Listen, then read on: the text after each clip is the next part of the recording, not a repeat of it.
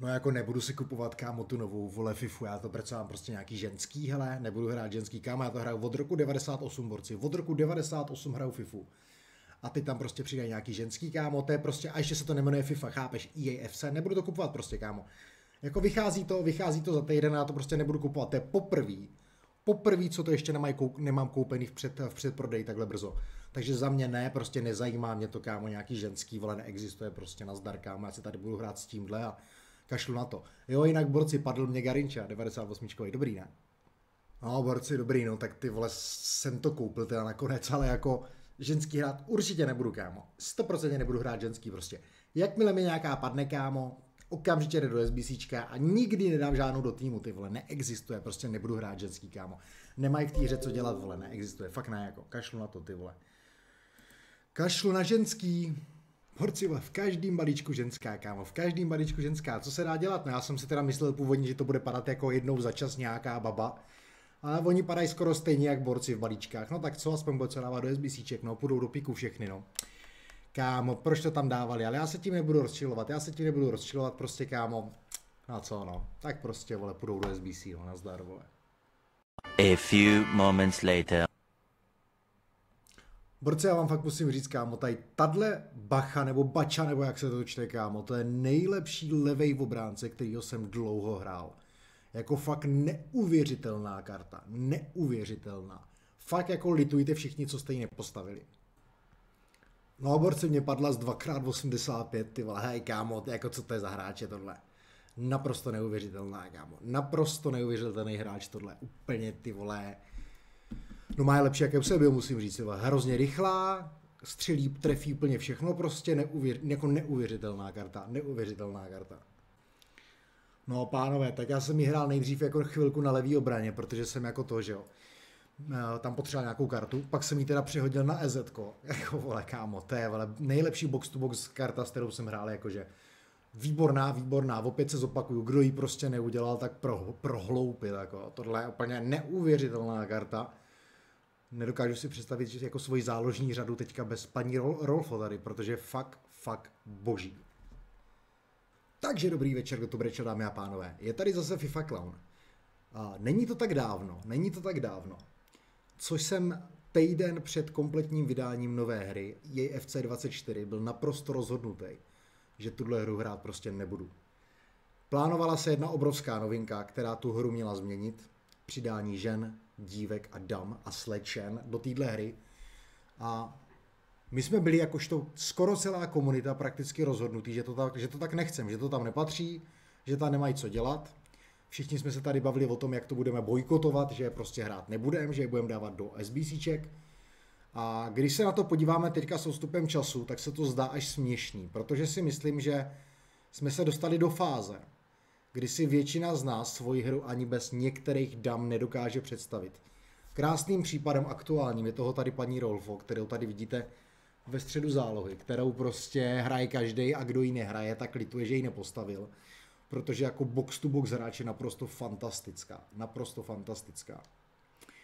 A já jsem tady prostě takhle vybral uh, eh, takový tým z ženských, který jsem tak nějak hrál během roku. Nedal jsem tady všechny nejlepší karty, které jsou ve hře. Dal jsem tam karty, s kterými mám vlastní zkušenost, který jsem hrál. To znamená, příklad. Hansen má lepší kartu, že jo? Některé ty karty prostě mají lepší varianty. Diany má lepší kartu. Já jsem tady nedal ty nejlepší karty, ale ty, s kterými já osobně mám zkušenost a my se na ně teďka podíváme. Ale musím prostě už teďka říct, že ty karty naprosto ovlivnily celý můj dosavadní FIFA rok. Když se na to budeme podívat od začátku tady. Když mě padla Sofie Smith během Toty, naprosto nejlepší útočník. Já jsem ji hrál ve dvojici s Eusebiem a musím říct, že prostě byla lepší než Eusebio. Toty Smith bych hrál do teďka, ale mám ji bohužel na druhý muštu, který mám teďka ban, takže ji nehraju. Ale už se těším, až to bude odbanovaný a zahraju si z ní znovu. Tahle Smith. Tu jsem si tehdy kdysi koupil. Byla to první karta za coiny, kterou jsem letos koupil dražší. Stála mě 600-700 tisíc byla naprosto, naprosto, naprosto fantastická. Opět u mě hrála do doby, než jsem dostal ban. Jinak bych ji hrál možná doteď. Tak. Diany jsem hrál na třetím účtu některou dobu. Padla mě tam z balíčku 51 hráčů z výměny. Skvělá karta, pokud prostě, já jsem v té době neměl moc našlapaný tým, Byla to pro mě boží, boží, boží varianta na hrot. Takže skvělá karta. Doteďka někteří hráči nedají dopustit na její variantu 92, že jo. Boží. Putelasně padla taky zelená, že jo. Uh, neuvěřitelná karta. V té době to byla, to byla taková předchůdce před Rolfo. Naprosto, naprosto neuvěřitelná karta. Měl jsem tady tu 92 zase. Jako box to box, úplně skvělá karta. Hansen všichni víme, známe, měl jsem ji na křídle. V tu dobu, kdy já jsem ji hrával, měl jsem ji jako informovou variantu, tak tam byla naprosto nepřekonatelná. Neuvěřitelný náběhy, neuvěřitelný dribbling, neuvěřitelný střely, finesy, prostě jako komplexní, komplexní karta na křídlo. Teďka Scott, to je jedna z karet, kterou ještě pořád hraju teďka. Musím říct, že mě prostě baví na těch ženských. Já vlastně celkově letos, kdybych vzal krajní v obránce, tak tam nejčastěji hraju ženský. Hrál jsem tam Karču, hrál jsem tam Bača, teď tam hraju Scott. Jsou to prostě, je to skvělá varianta na kraj v obrany, protože ty hráči jsou velmi pohybliví, velmi rychlí, mají velmi dobrý dribbling. To znamená, pokud vám někdo zaráží balón, dělá nějaký uh, drawback nebo cokoliv, můžete s těma kartama velmi rychle zareagovat, takže prostě naprostá pecka. Co se týče stoperů, co se týče stoperů, tam je to trošku jiný příběh.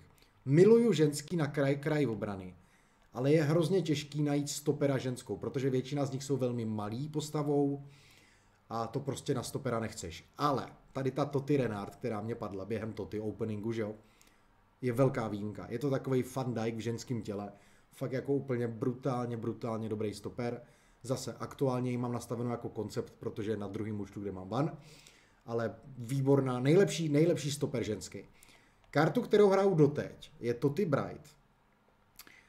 I přesto, že není vzrůstem moc velká, je to malá karta, je to malá postavou, tak je naprosto fantastická. Dávám s ní i dost gólů hlavičkama je skvělá na bránění rohu, je skvělá i na vaše rohy, pokud kopete. Když se na ní tady podívám, mám s ní jako 25 gólů, dvě asistence a tři červené karty, jo? takže i agresivní trošku je. Ale taky výborná karta. A když se ještě podíváme tady na ty ostatní, který jsem se tady dal do konceptu, jo?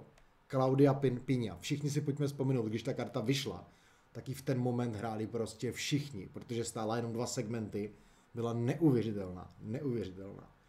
Alíša Lehmann, to nikdo z nás sice nehraje, ale všichni sledujeme na Instagramu, že jo? A ten, kdo ji nesleduje, tak vím, že až se dodívá na tohle video, jak to půjde udělat. Protože dámy a pánové, stojí to za to, stojí to za to. Takže běžte sledovat Alíšu Lehmann na Instagramu. Ona Battle byla karta, po který jsem hrozně toužil. Bohužel mě nepadla, ale já jsem si semka prostě hodil, protože jsem jí fakt... To byla karta, kterou jsem během Toty chtěl skoro nejvíc ze všech. Bohužel se mi nepodařilo ji chytit, ale, ale výborná, výborná na kraji. Stan Wayne jsem zkoušel teďka nedávno na pár zápasů, sice jenom, dal jsem ji potom do SBC, protože jsem stavil Roberta Karluše, ale musím říct, že prostě zase box to box karta naprosto výborná. Rychlá dopředu, skvělá dozadu, výborný dribbling, solidní střela, prostě parádní, parádní karta za pár korun. James taky, zkoušel jsem jenom jeden, dva zápasy, mě padla, pak šla do SBC, ale prostě naprosto skvělá karta za 100 tisíc, takže určitě můžete vyzkoušet, pokud si budete skládat třeba for fun ženský tým. Aitana Bonmati, tu jsem taky chvilku hrál v Informu, ta byla taky velmi dobrá. Taková srovnatelná s tou Putelas a s tou Rolfo, kde Rolfo si myslím nejlepší, Putelas střed, Bonmati trošku níž, ale taky výborná karta. A Svitková tam asi není potřeba komentáře žádnýho, že jo? A co se týče Georo, tu jsem taky hrál celkem dlouho. Výborný hráč, takový zase, stejně jak jsem řekl Renard, že je ženský kanté, tak Georo je prostě takový ženský kantem, mně přijde malá, rychlá, skvělá dopředu, skvělá dozadu, výborná. Pánové, když se na to teďka podíváme na ten tým, tak já si myslím, že pokud byste to takhle měli teďka poskládaný, tak jak to vidíte, tak máte sakra dobrý tým, že jo? A to tam jsou ještě mnohem lepší karty, které jsem tam nedal. Je tam Toty Hansen, že jo? Je tam spoustu dalších kart, které já jsem semka nedal. Já jsem se snažil sem dát jenom karty, které jsem vyloženě já sám hrál. Takže, takže prostě když se na to člověk podívá s odstupem a vzpomene si, jak na to nadával, že kvůli tomu skoro ani nechtěl koupit hru, tak je to až úsměvné, protože vyloženě třeba ta Rolfo je prostě tak dobrá, že si nedokážu představit, že bych ji teďka neměl v tom týmu. A vy mě napište do komentáře, která skvělá karta ženská vás letos bavila a já jsem na ní zapomněl. To znamená, pište mi do komentáře, na kterou kartu jsem zapomněl a dále mě pište, která ženská u vás teďka hraje v týmu, jestli máte nějakou, kterou buď hrajete v základu, nebo ji často sabujete. Pište mě určitě nějaký připomínky.